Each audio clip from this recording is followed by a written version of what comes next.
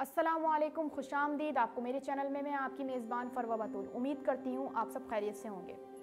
तुम बड़े हो कहकर बड़े बहन भाइयों को छोटों से दूर ना करें। जब भी ताल्लुक़ पे बात की जाती है तो बहुत करीब होने के बावजूद इस अहम ताल्लुक़ के जज्बाती और नफसियाती पहलू पे बहुत कम बात की जाती है। वालदेन और औलाद के ताल्लुक़ की तरह इस ताल्लुक़ को भी हकीकी बुनियादों पर देखने के बजाय इसे गैर हकीकी पैमाने बना लिए गए हैं, जो बहन भाइयों के आपस के रिश्ते को मज़बूत बनाने के बजाय मजीद उलझाव का शिकार कर देते हैं। मसलन भाई बहनों के लिए हर काम करने की कोशिश करता है। और बहन भाई का हर काम करने के लिए दौड़ी दौड़ी जाती है, जबकि हकीकत में इन रवैयों का ताल्लुक मुकम्मल तौर पर तरबियत से है। जब तक ये रवैये सिखाए ना जाएँ, तब तक ऐसी बातें बहन और भाई के दरमियान में नागवार ज़िम्मेदारी बन के रह जाती हैं। आपने देखा होगा कि हर घर में जो बात होती है, एक बेटे को लेकर, बेटी को लेकर, वहाँ अक्सर मामला सेंसिटिव हो जाते हैं। बेटा ये है, वो करेगा, बेटा बाहर भी जा सकता है। मगर एक बेटी जिसको कहा जाता है कि तुम लड़की हो, लड़की वाले काम करोगी।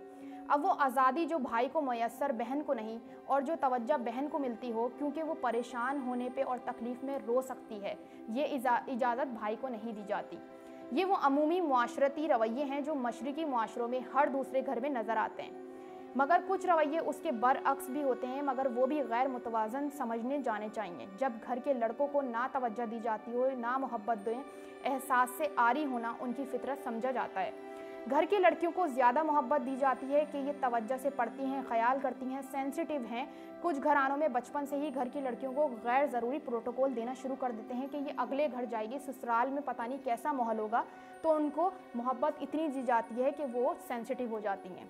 उसके नतीजे में भाई हमेशा तवज्जो की कमी का शिकार रहते हैं। साथ ही उन पे कमाने और ख़ुद को हमेशा जज्बात से आरी ज़ाहिर करने का बोझ होता है। याद रखें, ये दूसरा बोझ, पहले बोझ से कहीं ज़्यादा है।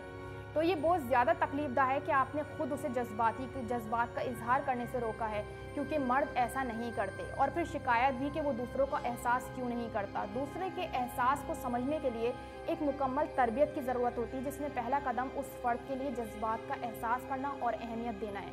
जबकि हमारे माशरे में लड़के सारा दिन बाहर रहें तो कोई नहीं पूछता कि कहाँ थे, बल्कि घर के माहौल से सीखा जाता है कि अगर किसी ने ऐसा पूछा तो ये मर्दानगी पे हुर्फ समझा जाता है। वही घर जहाँ बहन को इजाज़त लेकर बाहर जाते हुए हज़ार दिक्कतों का सामना है। लड़का बाहर कहाँ था, क्या कर रहा है, ये रवैया हर एतबार से घर के लड़के को बातजरीज घर वालों से जज्बाती तौर पर दूर कर देता है।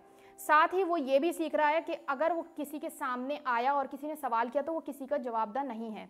जबकि लड़की के लिए रवैया बिल्कुल अलग है, उसे सिखाया जाता है कि उसे हर काम दूसरों की इजाज़त से करना होता है और दूसरों की खुशी के लिए करना होता है। अगर वालदेन ने इजाज़त दे भी दी तो उसे उस इजाज़त का इस्तेमाल नहीं करना, सिर्फ़ एहसान समझकर शुक्रगुजार होना चाहिए। बचपन की ट्रेनिंग, आखिरकार शादी के फैसले पर काम आती है। यहाँ आकर वो लड़का लड़की, जो अब तक बहन भाई की बुनियाद पर एक मुसलसल सनफी जंग लड़ रहे हैं, नए रिश्ते में बनकर एक अलग तरह की जंग का हिस्सा बन जाते हैं।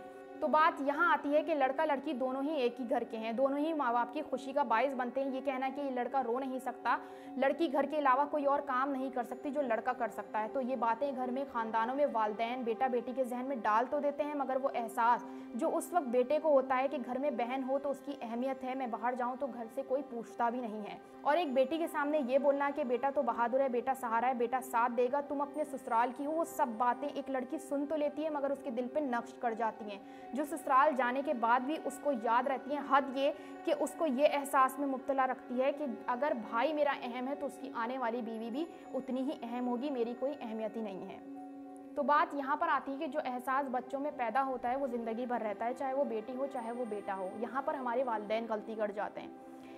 इसीलिए बच्चों के साथ माँ बाप को अदल अख्तियार करना चाहिए और जैसा बेटा है, जैसे बेटे की इज़्ज़त है, इसी तरीके से बेटी की भी इज़्ज़त है। जैसा बेटा सहारा है, इसी तरीके से बेटी भी सहारा है। जैसे अल्लाह ताला ने कहा है कि बेटा नेमत है तो बेटी रहमत है।